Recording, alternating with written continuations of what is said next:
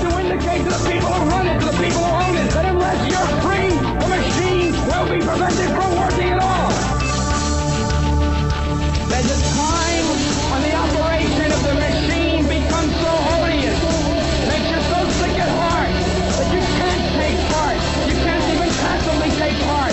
And you've got to put your bodies upon the gears and upon the wheels, upon the levers. Well, happy Sunday, human beings from the planet Earth. Just a quickie to jump in there to give a heads up to uh, specifically the Seattle area, but uh, all occupiers and protesters in general. Uh, this headline in The Blaze leads me to believe uh, that we're going to be looking at, uh, you know, some shit.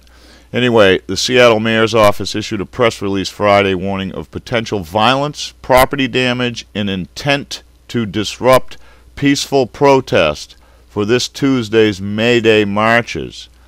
Now, these are assumptions that we've made all along anyway, that part of the Occupy movement um, is not of ethical reasoning or standards, that they're taking uh, a common gripe or many common gripes and using that to bring about things that will implement martial law, basically, uh, lockdown of cities and areas, um, and especially in this that one uh, sentence where they identify peaceful protesters. Now, I haven't seen this. This is a little different than all the other reports. I mean, we've had reports that potential violence, but they don't specifically mention or recognize the peaceful protest. This is a red flag to me.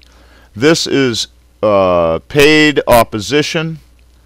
Uh, this is an issue, and you need to be on your toes and on guard. Uh, Seattle specifically, but this is going to happen repeatedly wherever there is a protest. Now, I can tell you that any of the Anons or occupiers that I've talked to have no intentions of destroying anybody's anything. They they, they don't.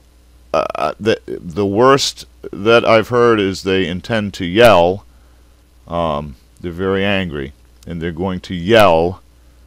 Uh, but I, I no no indications that anybody is going to destroy anything or put their hands on anybody, but they're going to provoke you, and they're going to get you angry. And and like with me, I'm a you know I can get upset, but I'm a pretty reasonable guy unless you put your fucking hands on me. Okay, keep your fucking hands off me, because then the the rules there there are no rules. I go from Kevin who cares about you to Kevin who'll kill you. I'm a little guy. I can't afford anybody putting their fucking hands on me. So I have to kill them. I can't go punch for punch. Uh, I'm not a boxer. Uh, uh, I'm not a martial artist. I just need to kill them. And so there's many of the occupiers that are just like that. Little guys, you know, they, they, they want their, their rights and they're willing to risk themselves for it. Uh, but they're not going to hurt anybody to get what they want. No. We got to be on our toes. We got to be on the lookout, and we've got to be willing to band together and encircle the provocateurs.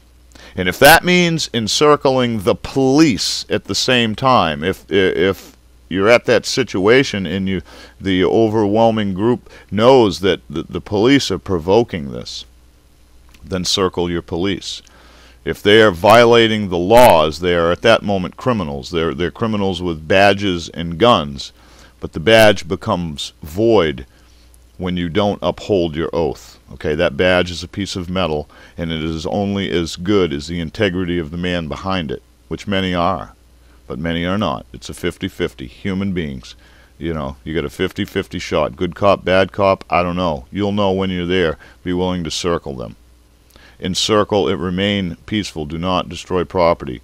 You're only going to get beat. You're only going to get arrested. And I'm going to make a prediction that we will see innocent bystanders, the little old lady getting pepper sprayed, the pregnant teenager getting arrested, all the things that will piss the rest of you off so that you'll do things that you wouldn't normally do, and then we can lock that city down. For your safety, of course. I mean, we wouldn't do anything to harm you, such as inject you with vile chemicals or spray vile chemicals above your heads like your bugs. I mean, we we we are here to take care of you, and you need us to. You you you, can't really do this on your own, and so for a small fee, we will take care of you and love you, or, or at least make you think that we love you. Anyway, big heads up. Happy Sunday. Much love. Uh, many thanks to everybody who's viewing the videos, by the way. Um, I'm seeing a steady increase. People are sharing.